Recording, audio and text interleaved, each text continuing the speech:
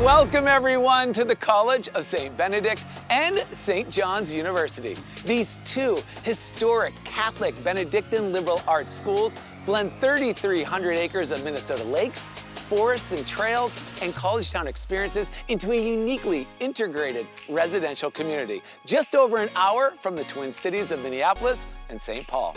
I'm your host, Alex Boylan, and over the next half hour, we're gonna meet 10 extraordinary Bennies and Johnnies and learn how this integrated, one-of-a-kind undergraduate college for women and undergraduate college for men has proven to be the perfect choice for them with two campuses connected by decades of traditions and only a seven minute ride on the link. St. Ben's and St. John's combine top tier academic programs, a strong commitment to experiential learning, a fun and vibrant residential experience, and a network full of alums who are blazing trails and opening doors.